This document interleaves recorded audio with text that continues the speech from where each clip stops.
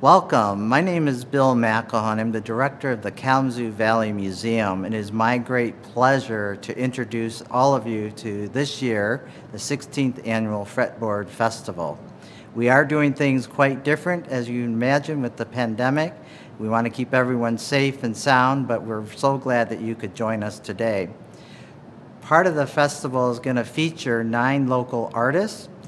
We're going to also be able to take a scene or tours behind the manufacturing of Caltone with Rye Charters.